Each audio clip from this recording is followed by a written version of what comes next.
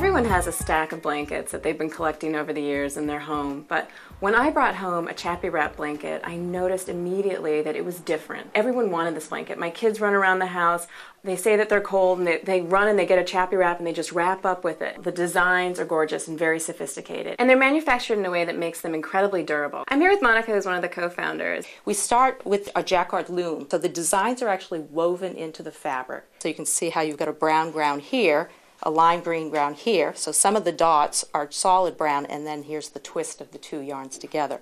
And after it comes off the jacquard loom, it goes through a series of machines called napping machines, and it's what gives this this nice fluffy texture. And it goes through at least 10 times.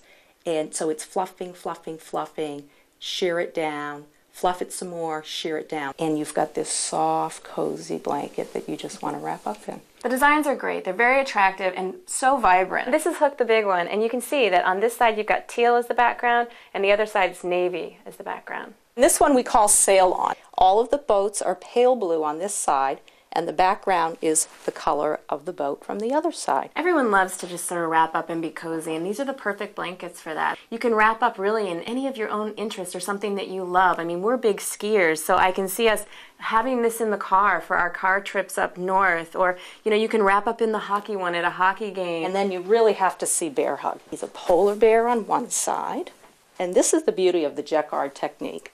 On this side, He's a brown bear. And these blankets were actually inspired initially by a favorite blanket. My partner, uh, Beth LaSala, had a blanket that was similar to this as a child, and she and her three sisters constantly fought over it. So this is her Lammy recreated. And uh, we decided we'd come up with this concept to create a company, ChappyWrap, that offered everyday blankets for life.